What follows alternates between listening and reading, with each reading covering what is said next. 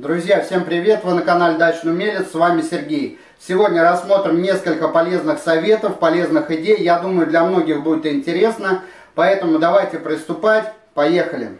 Друзья, бывают такие ситуации, когда нам нужно измерить расстояние до угла, но рулетка нам не позволяет это сделать, так как она здесь идет полукругом.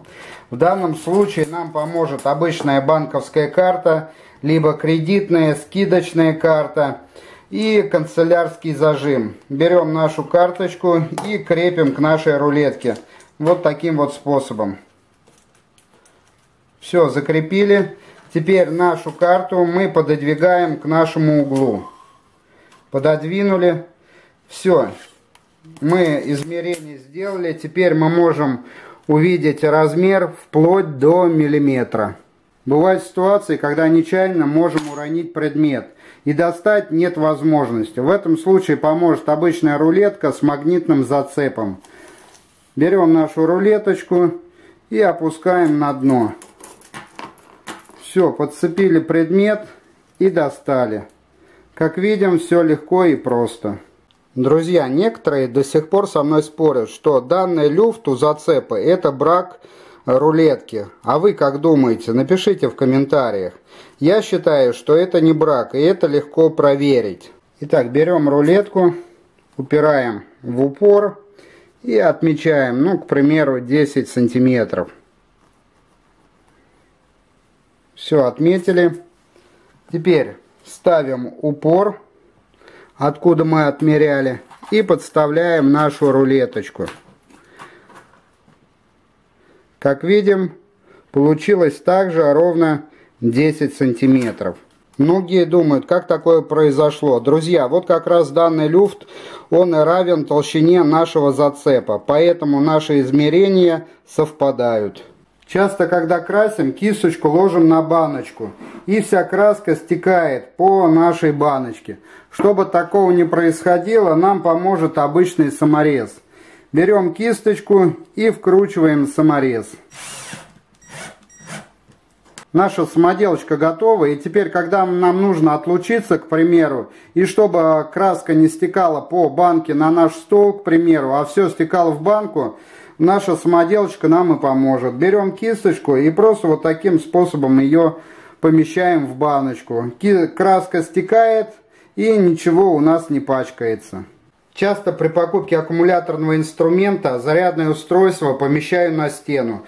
Ну а как сделать разметку под саморезы, сейчас вам покажу. Для этих целей нам понадобится обычная малярная лента. Отрываем. Прикладываем к нашим отверстиям. И отмеряем центр отверстий. Здесь и здесь. Теперь берем нашу ленту, крепим ее на стену, приклеиваем и закручиваем саморезы.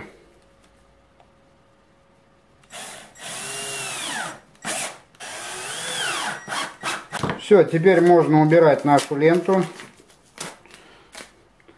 и крепить наш зарядник крепим с одной стороны и с другой. Как видим, все закрепилось. Вот такой вот простой способ.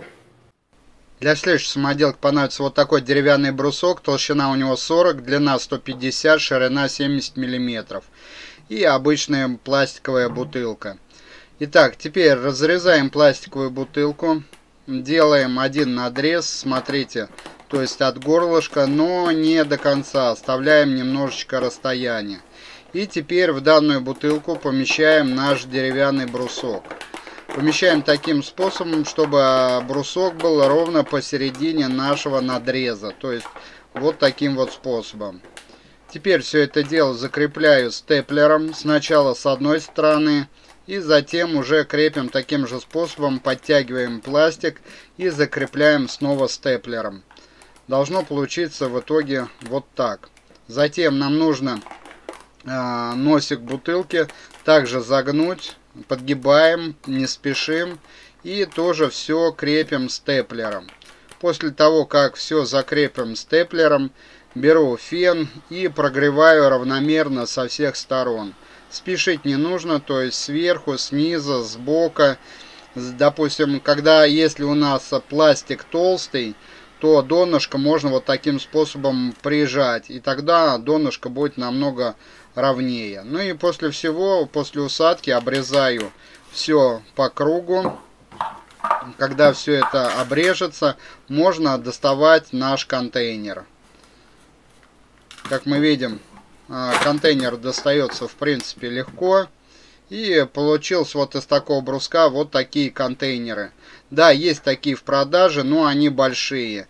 Этих будет мне вполне достаточно. Они хорошо подойдут для какой-то мелочевочки, для шайбочек, для гаечек. Также данные контейнеры очень прочные. Засыпал целую коробку саморезов. И они, в принципе, эти контейнеры не сгибаются, как вы видите.